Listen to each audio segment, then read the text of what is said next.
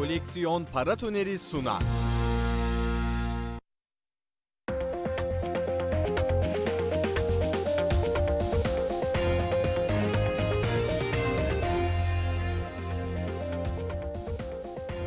Paratoner'e hoş geldiniz efendim. Ben Melis Kobal. Önümüzdeki yarım saat boyunca piyasalardaki gelişmeleri aktarıyor olacağız. Yoğun veri akışının olduğu bir haftayı geride bırakıyoruz. Şubat ayının ilk haftasını dün kritikti piyasalar açısından merakla beklenen birden fazla e, karar ve veri vardı. Arka arkaya geldi. İçeride enflasyon verisi, dışarıda Brezilya'da, İngiltere'de ve Avrupa Merkez Bankası'nda merkez bankalarının faiz kararlarını aldık. Kararlar piyasaların beklentileri dahilinde gerçekleşti. İngiltere ve Brezilya faizleri arttırdı. Diğer taraftan Avrupa Merkez Bankası'nda ise faizde değişikliğe gidilmedi ama Başkan Lagarde'ın e, tonunda şahinleşmenin ağırlaştığını görüyoruz ve yüksek enflasyon vurgusu da piyasalar açısından önemliydi. Bugün de veri akışında en önemli verilerden biri olan piyasalar açısından Amerika Birleşik Devletleri'nden tarım dışı istihdam verisini alacağız. Hafta içi gelen verilerden biri de ADP özel sektör istihdamına yönelik olan veriydi ve burada da beklentileri karşılayamayan bir veri vardı. Geçtiğimiz ayki tarım dışı istihdam verisi beklentilerin bir hayli altında gelmişti. Eğer bu ayda beklentilerin altında bir veri gelir ve haftaya açıklanacak olan Amerika Birleşik Devletleri'ndeki enflasyon verisi de yüksek olursa işte bu daha da şahin bir e, FED görür müyüz acaba sorularını da gündeme getirecek. Şimdi biz piyasalardaki değerlendirmelerimize konuğumuzla geçeceğiz ama öncelikle günün öne çıkan başlıklarına bir bakalım. Türkiye Cumhuriyet Merkez Bankası'ndan dün açıklanan enflasyon rakamlarına ilişkin değerlendirmeleri içeren aylık fiyat gelişmeleri raporu geldi. Ve bu rapora göre enflasyondaki artışın alt gruplar bazında genele yayıldığı ifade edilirken enerji fiyatlarının enflasyonu yükselten en önemli kalem olduğuna işaret edildi. Raporda tüketici yıllık enflasyonundaki artış alt gruplar geneline yayılırken bu gelişmeye en belirgin katkı enerji fiyatlarından gelmiştir. Ocak ayında döviz kurları istikrarlı bir görünüm sergilerken emtia fiyatları omikron varyantına bağlı gerileme sonrasında tekrar güçlü bir artış göstermiştir denildi. Enerji enflasyonu, uluslararası petrol fiyatlarındaki artışla elektrik, doğalgaz ve şebeke suyu gibi yönetilen kalemlerdeki gelişmeler neticesinde önemli ölçüde yükselmiştir ifadeleri kullanıldı. Diğer taraftan Fitch'ten kur korumalı mevduata ilişkin bir açıklama geldi. Orada da Türk mevduat sahiplerinin hükümetin döviz kurlarının mevduatlarının kur korumalı lira mevduatlarına dönüştürülmesi programına şu ana kadar sınırlı bir iştah gösterdiklerini söylüyor Fitch e, açıkladığı raporda. Diğer taraftan S&P e, Türkiye için enflasyon beklentisini yükseltti. S&P'nin e, enflasyonun Ocak 22'de aylık bazda %11.11 artarak yıllık rakamın %48.7'yi geçmesinin ardından yılın büyük bölümünde %50'yi geçmesini ifade ettiği bir e, rapor, e, bir araştırma notu yayınlandı e, S&P tarafından. Diğer taraftan enflasyon konusuna ilişkin olarak JP Morgan'dan da bir açıklama var. JP Morgan'da enflasyonun Nisan ayında %55'lere geleceğini, Kasım'da %50'leri göreceğimizi ardından da bir düşüşe geçeceğini ifade ediyordu araştırma notunda. Evet e, enflasyon demişken enflasyon dünyanın gündemindeki bir konu. Başlangıçta da söylemiştik dün Avrupa Merkez Bankası Başkanı ki bugüne kadar enflasyonun geçici olduğu ne vurgulayan bir kişiydi konuşmalarında fakat dün e, beklenen ne yorum yapacağı bekleniyordu ve yüksek enflasyon vurgusu dikkat çekmişti Avrupa Merkez Bankası'ndan da artık diğer taraftan IMF'den de uzun süreli enflasyona yönelik bir yorum geldi ve başkan e, Uluslararası Para Fonu'nun başkanı Georgieva dünyanın sürekli bir enflasyon dönemiyle karşı karşıya olup olmadığını söylemek için çok erken olduğunu ifade etti. Şimdi bu hafta bilançoları e, arka arkaya karşıladık ve önemli bilançolar geldi. E, hem içeride hem de yurt dışı tarafında ve yurt dışına baktığımız zaman da özellikle teknoloji hisseleri e, öne çıktı. Merakla beklenen bilançolardı diyebiliriz.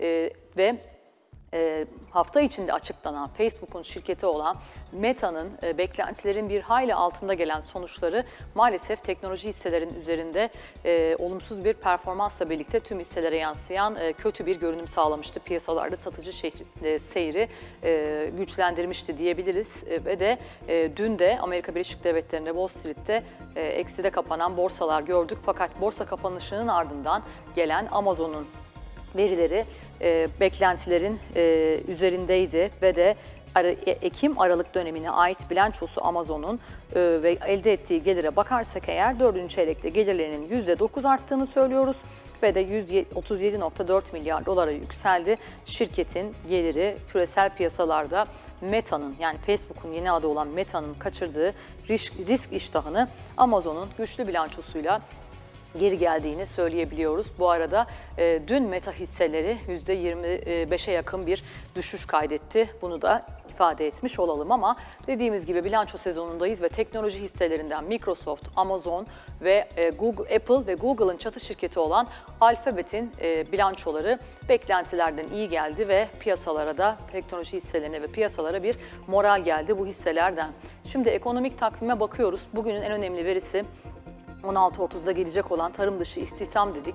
Tarım dışı istihdamla birlikte e, işsizlik oranı gelecek 16.30'da Amerika Birleşik Devletleri'nden ve de Euro bölgesinde perakende satışları alacağız ve e, 13'te 11.30'da da e, Euro bölgesinden inşaat, inşaat piyamayı verisini almış olacağız. Amerika'dan aynı zamanda da ortalama kazançlar verisi de gelecek tarım dışı istihdam, e, tarım dışı istihdam verisiyle birlikte. Şimdi borsalara bakarsak eğer dün genel olarak e, kırmızıda olduğumuz bir gündü. Bu e, özellikle teknoloji hisselerinde satış baskısı yaratmasıyla Meta'nın bilançosunun genel olarak bunun e, dünya piyasalarına yansıdığı bir günü görmüştük. Ve biz de %2'nin üzerinde bir kayıpla kapatmıştık günü. Fakat şu anda bakıyoruz 0.46'lık prim 1966 puandayız. Dolar TL 13.54'te, Euro TL 15.50, Sepetkur 14.52 ve gram altın 487 seviyesinde. Dolar endeksinde bir geri çekilme var. 96'nın da altına geldik ki geçtiğimiz hafta Fed'in e, şahinleşen açıklamasıyla birlikte 97'nin üzerine taşınan dolar endeksinde şu anda 95-25 seviyesindeyiz. Euro dolar 1.14'te, pound dolar 1.35, dolar yen 115.12 ve dolar İsviçre frangı 0.92 seviyesinde.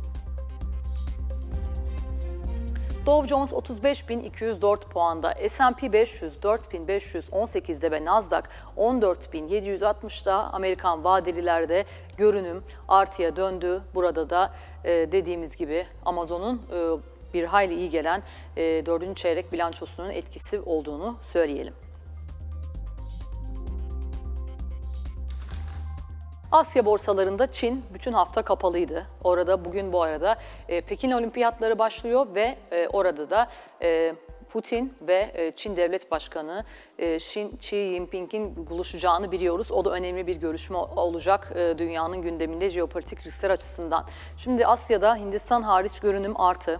Japonya'da 0.73'lük prim var. Hong Kong'da prim %3'ü aştı. Güney Kore %1'in üzerinde 1.57'lik bir prim ve Hindistan Sensex'te de 0.19'luk bir geri çekilme görüyoruz 58.678 seviyesine.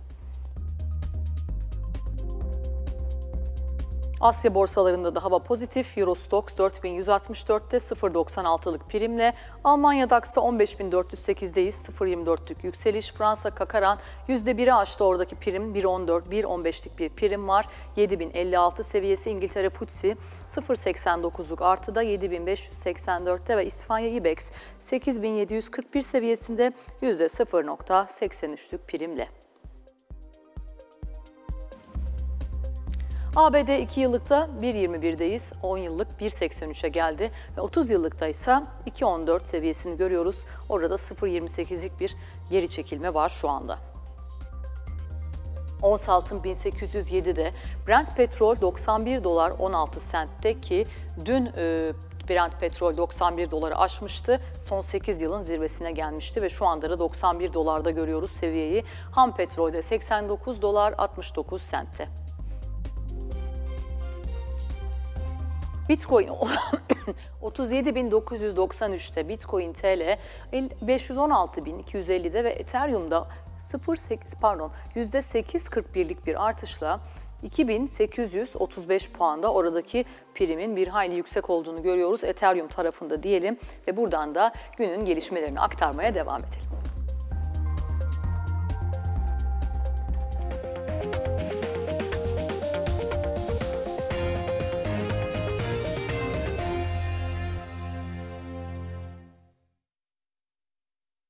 Bankacılık sektörünün 28 Ocak haftasında toplam mevduat hacmi 7.4 milyar TL, toplam kredi hacmi ise 32.94 milyar TL arttı.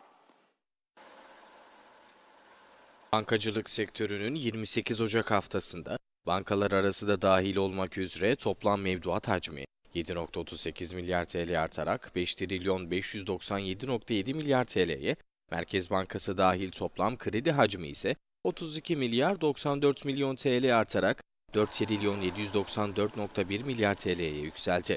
Türkiye Cumhuriyet Merkez Bankası haftalık verilerine göre söz konusu haftada bankalardaki TL cinsi mevduat %1.41 artarak 2 trilyon 30.1 milyar TL'ye yükselirken döviz cinsi mevduatlarsa %0.63 azalarak 3 trilyon 354.4 milyar TL'ye geriledi. Döviz mevduatları 255.38 milyar dolar olurken bu tutarın 228.16 milyar dolarlık bölümü yurt içi yerleşiklerin hesaplarına toplandı. Palit etkisinden arındırılmış verilerle yurt içi yerleşiklerin döviz mevduatlarında 28 Ocak itibarıyla 2 milyar 186 milyon dolar gerileme gözlendi. Öte yandan 28 Ocak haftasında mevduat bankalarındaki tüketici kredileri hacmi ise %0.29 artarak 736.3 milyar TL'ye yükseldi. Taksitli ticari krediler ise %0.03 azalarak 639.7 milyar TL'ye inerken kredi kartları bakiyesi ise %2.05 yükselerek 303.43 milyar TL'ye ulaştı. Toplam kredi hacmi geçen yılın aynı dönemine oranla %39.12 artarken mevduat bankalarındaki tüketici kredilerinin 274.74 milyar TL'lik bölümü konut, 8.3 milyar TL'lik bölümü taşıt ve 453.25 milyar TL'lik bölümü ise diğer kredilerden oluştu. Yabancılar 28 Ocak haftasında 138.9 milyon dolarlık hisse senedi satarken 63.6 milyon dolarlık devlet iç borçlanma senedi satın aldı. Yabancılar nette satıcı oldukları 28 Ocak haftasında 138.9 milyon dolarlık hisse senedi satarken 63.6 milyon dolarlık devlet iç borçlanma senedi satın aldı. Türkiye Cumhuriyet Merkez Bankası verilerine göre 28 Ocak haftasında 75.3 milyon dolar net satış yapan yabancıların portföylerinde bulunan toplam hisse senedi tutarı 18 milyar 628.9 milyon dolara inerken devlet iş borçlanma senedi tutarı ise 3 milyar 417.3 milyon dolara yükseldi. Yabancılar 5 Kasım 19 Kasım 2021 tarihleri arasındaki 3 haftada piyasaya toplam 1 milyar 213.3 milyon dolar nakit sokmuştu. 26 Kasım 2021 haftasından itibaren nette sürekli satıcı olan yabancılar son 10 haftada piyasadan toplam 1 milyar 961 milyon dolar çekti. Öte yandan 28 Ocak itibarıyla net uluslararası rezervler yaklaşık 1.26 milyar dolar artarak 10.53 milyar dolara yükseldi. Net uluslararası rezervler 21 Ocak haftasında 9.27 milyar dolar düzeyindeydi. Merkez Bankası brüt döviz rezervleri de 28 Ocak haftasında 840 milyon dolar artarak 71 milyar 636 milyon dolara yükseldi. 21 Ocak haftasında brüt döviz rezervleri 70 milyar 796 milyon dolar seviyesindeydi. Aynı hafta altın rezervleri ise 441 milyon dolar azalarak 39 milyar 18 milyon dolardan 38 milyar 577 milyon dolara geriledi. Böylece toplam rezervler 265 milyon dolar artarak 109 milyar 814 milyon dolardan 110 milyar 214 milyon dolara yükseldi.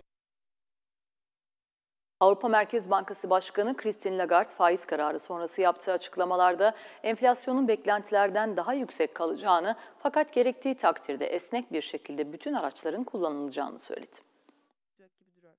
Enflasyon çok sert bir şekilde yükseldi son birkaç ayda ve yukarı yönlü olarak da Ocak ayında bir sürpriz gerçekleştirdi. Bu özellikle yüksek enerji fiyatlarından gerçekleşiyor ve pek çok sektördeki fiyatları yukarı itiyor ve bir yandan da gıda fiyatlarındaki artıştan kaynaklanıyor. Enflasyon yüksek kalmaya devam edecek gibi düşünüyoruz ve beklediğimizin daha önceki beklentilerimizin biraz daha e, üzerinde kalacak gibi duruyor ama bu yıl içerisinde devam aşağı yönlü gideceğini düşünüyoruz. Ve biz şu an itibariyle elimizde olan bütün araçları gerekli görüldüğü takdirde esnek bir şekilde kullanmaya e, hazırız ve orta vadede de yüzde iki olarak enflasyonun gerçekleşmesi için elimizden geleni yapacağız. Amerikan Başkanı Joe Biden'ın Fed Yönetim Kurulu'nda boşalan üyelikler için gösterdiği isimler ekonominin önceliğinin enflasyonla mücadele olduğu görüşünde birleşti. ABD Başkanı Joe Biden'ın ABD Merkez Bankası Fed'in boşalan yönetim kurulu üyelikleri için aday gösterdiği isimler, ekonominin önceliğinin enflasyonla mücadele olduğu görüşünde birleşti. ABD Senatosu'nun bugün yapılacak olan onay oturumu öncesinde yazılı açıklamada bulunan adaylardan Philip Jefferson, ekonominin şu anda karşı karşıya bulunduğu iki büyük zorluğun Covid salgını ve enflasyon olduğunu ifade etti. Jefferson, bugün gözlenen enflasyon artışının gelecekteki enflasyon beklentilerini de yükseltmekle tehdit ettiğine dikkat çekti. Diğer aday Liza Cook da yüksek enflasyonun uzun ve sürdürülebilir bir genişleme için ciddi tehdit olduğunu vurgulayarak en önemli görevimizin enflasyonla mücadele olduğu konusunda Başkan Powell aynı fikirdeyim dedi. Her ikisi de akademisyen olan adaylardan Philip Jefferson onaylanması halinde FED yönetiminde görev alacak dördüncü siyahi isim olurken, Liza Cook ise onay alması halinde FED yönetiminde görev alacak ilk siyahi kadın olacak. Ve şimdi de piyasalardaki gelişmeleri değerlendirmek üzere karşımızda Yusuf Kavak olacak Işık Menkul Değerler Araştırma Müdürü. Yusuf Bey hoş geldiniz yayınımıza. Hoş bulduk Melisa Hanım. İyi yayınlar diliyorum. Çok teşekkür ediyoruz. Şimdi bu hafta e, yoğun veri akışı yaşadık. E, bugün de hatta e, tarım dışı istihdam verisini bekliyoruz. Piyasaların en önem verdiği verilerden biri. Şimdi nasıl bir haftayı kapatıyoruz? Özellikle neleri vurgulamamız gerekir sizce bu hafta? Çünkü Şubat ayının da ilk haftasıydı. Piyasalar açısından hareketli bir haftayı geride bırakıyoruz gibi gözüküyor. Ne dersiniz? Evet, yurt içinde enflasyon dataları biraz kritikti. Küresel tarafta iki tane majör Merkez Bankası'nın e, kararları takip edildi. Dün öce, özellikle İngiltere Merkez Bankası ve Avrupa Merkez Bankası'nın kararları piyasalar üzerinde etkili oldu. E, yine dördüncü çeyrek finansalları takip ediyoruz. Özellikle Amerika Birleşik Devletleri'ne gelen finansallar piyasaları direkt etkiliyor. İşte dün e, Spotify ve e, Meta'nın önceki akşam açıklanan finansallarındaki e, sıkıntılar biraz piyasaya olumsuz şekilde yansımıştı. Avrupa Merkez Bankası ve İngiltere Merkez Bankası'nı sıkılaştırmaya yönelik e, sinyaller vermesi, özellikle Lagarde'dan e, beklenmedik bir şekilde sıkılaştırmaya yönelik en azından enflasyonla ilgili e, her türlü tedbiri alacaklarına yönelik söylemin e, sonrasında e, tahvil fiyatlamalarının Haziran ayında bir e, en azından bir 10 bas puanlık bir artırma fiyatlaması, e, senenin genelinde 40 bas puan gibi bir artırma fiyatlaması, bununla birlikte tahvil faizlerinin hızlı bir şekilde yükselişiyle birlikte Piyasalar hızla satış yedi. E, açısı Fed'den sonra e, İngiltere Merkez Bankası zaten başlamıştı e, sıkılaştırma hamlelerini ama e, ECB e, tabii ki biraz sürpriz oldu. Eğer ECB ile başlayacaksa bununla birlikte tabii ki küresel tarafta risk iştahının biraz daha e, sıkıntıya girebileceği bir sürece doğru gidiyoruz. Tahvil faizleri hızlı bir şekilde e, yükseliyor. E, bir, bir süre sonra bunun da etkisiyle birlikte yine borsalar üzerinde ciddi bir şekilde baskı oluşabilir. Biz iç, iç tarafta tabii ki kendi dinamiklerimizde enflasyon meselesi en önemli e, konu. Zaman zaman Türkiye Cumhuriyet Merkez Bankası'nın parasal aktarım mekanizmasına vurgu yaptığını görüyoruz. Ama burada parasal aktarım mekanizmasının en önemli olgusu da enflasyon. E, zaten Türkiye Cumhuriyet Merkez Bankası'nın da önceliği fiyat istikrarı olduğu için enflasyonla mücadelede başarıya ulaşmamız elzem halinde. O yüzden önümüzdeki süreçte enflasyon meselesi e, her türlü e, Türkiye Türkiye'deki e, ekonomik görünümü etkileyecek diye düşünüyorum. Evet, şimdi dün e, Bakan Nebati'nin Japonya Haber Ajansı Nikkei'ye yaptığı açıklamalar vardı. Enflasyon verisi gelmeden düştü bu açıklamalar bu arada ajanslara. Ve de e, Nisan'da %50'ye Öyle, Nisan'da en yükseği piki göreceğimizi fakat %50'nin üzerinde bir enflasyon görmeyeceğimizi söylüyor ve 2023 yılına da e, tek haneli enflasyonla e, görebileceğimizi ifade ediyor seçime yaklaşırken diyor 2023'te. Şimdi diğer taraftan da dün e, %48'i aşan bir enflasyon gördük ve de Baktığımız zaman global, global olarak da pek çok alanda enflasyonist risklerin devam ettiğini görüyoruz. İşte ulaştırma tarafında, petrol fiyatlarında dün 91 e, doları da aştık. Son 8 yılın en yüksek zirvesini gördük ve artık e, hani pek çok analistin birleştiği nokta 100 doların e, görüleceği şeklinde yakın vadede. Diğer taraftan gıda üzerinde de biliyorsunuz sürekli uyarılar yapıyor dünyada fiyatların artacağına yönelik. Bu tedarik krizini de henüz aşmış değiliz. Şimdi bugün yine raporlara düşenlerden sizin de bileceğiniz gibi JP Morgan'ın açıklaması vardı. Nisan'da enflasyonu yüzde 55 olacağına e, öngördüklerine yönelik e, ve S&P e, de yine enflasyona yönelik beklentisini yükseltti Türkiye için. %49'a çekti 2022 yılında. Sizin beklentiniz nedir? Şimdi biz yüksek en yüksek seviye sizce gördük mü? Önümüzdeki aylarda ne beklemeliyiz? Ve 2023'te biz tek haneli enflasyon görür müyüz? Evet, mevcut politika duruşu, burada ortodoks politikalardan ayrılmış olması maalesef burada enflasyon tarafında baskı getiriyor. Fiyatlar üzerinde yükselişi de beraberinde getiriyor. Kur geçişkenliği bitmiş gibi gözükse de aslında e, halen daha bitmedi. Bunun etkilerini gecikmeli de olsa e, hissediyoruz. Bununla birlikte sizin de bahsetmiş olduğunuz gibi pandeminin olumsuz etkileri, arz, tedarik e, darbazı ile birlikte e, üretici fiyat endeksleri üzerinden tüketici fiyat endeksine geçişlerin halen hızlı oluşu küresel çapta e, bun, bununla birlikte bunların hepsi değerlendirildiği zaman e, açısı e, henüz daha e, pik yaptığımızı, bir tepe yaptığımızı söyleyemem. E, evet Nebat'ın, e, Hazine ve Maliye Bakanı Nebat'ın açıklamaları ben de okumuştum ama bizim açısı %55-%60 bandında bir yerleri görüp e, oralarda e, bir tepe yapabileceğimize yönelik bir düşüncemiz var. E, şimdi yılın ilk yarısında %6.66'lık bir baz etkisi vardı e, Türkiye Cumhuriyet Merkez Bankası zaman zaman bu baz etkisine vurgu yapıyor. Baz etkisiyle işte enflasyonda düşüşler olacağını söylüyor ama asıl baz etkisi e, senenin son çeyreğinde var. Yani burada Ekim, Kasım ve Aralık toplamında yüzde bileşikte yüzde yirminin üzerinde bir baz etkisi var. Yani biz burada zaten ilk e, 9 ayda enflasyonu kontrol altına alamazsak orada baz etkisiyle düşürmeye çalışacağız gibi gözüküyor. Ama tabii ki bu süreçte pandemi devam edecek mi? Bu mesela kritik olacak. Çünkü pandemi henüz bitmedi. Omikron e, kaynaklı varyantlar 3 e, milyonlara yakın hala günlük e, vakalar görülmeye devam ediyor. Bununla birlikte işte Çin gibi bazı ülkelerin sıfır Covid politikalarından dolayı bir tane vaka dahi görülse orada bir gümrüğü kapatarak bununla birlikte işte tedarik ile ilgili zincirleri aksatması, bu tarafta yine navlun fiyatlarının ciddi şekilde artmaya devam etmesi gibi unsurlar ister istemez üretici fiyatlarına olumsuz yönde yansıyor ki biz e, son dış ticaret verisinde de e, 10 milyar doların üzerinde açık verdik. Bu da ithalat tarafında e, tekrar canlanmanın olduğunu gösteriyor. Belki de işte ithalatla birlikte e, iç taraftaki fiyatları baskılamak için biraz daha ithalat tarafına yönelmiş gibi duruyoruz. Ama bu da işte o ithal fiyatların etkisiyle birlikte e, bir süre sonra e, yukarı yönlü hareketi beraberinde getirecek ki kur tarafındaki şu stabilite e, çok uzun soluklu olmayabilir. Şimdilik swaplar ile bu tarafı biraz tutuyoruz.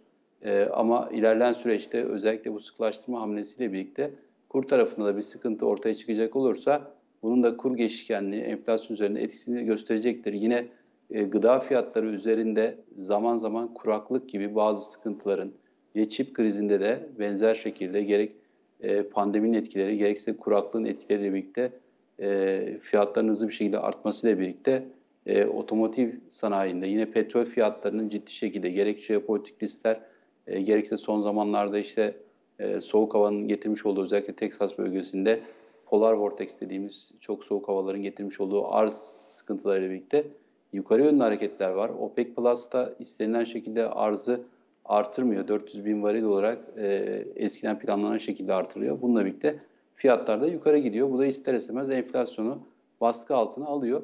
E, biz enflasyonda henüz e, özetlemek gerekirse e, tepenin görülmediğini düşünüyoruz ve %55-%60 bandının görülebileceğini önümüzdeki birkaç ay içerisinde görülebileceğini ondan sonraki süreçte de pandeminin bitmesi, Türkiye Cumhuriyet Merkez Bankası'nın para politikası ile ilgili gelişmelerin etkisiyle e, enflasyonun ona göre şekil bulacağını düşünüyoruz. Evet çok teşekkür ediyoruz sevgili Yusuf Kavak, Işık Menkul Değerler Araştırma Müdürü. Yayınımıza katıldığınız için size de iyi hafta sonları dileyelim. Parot öneri de burada. Bitirelim efendim. Birazdan Fintech Dünyası ile birlikteyiz. Şimdi kısa bir ara.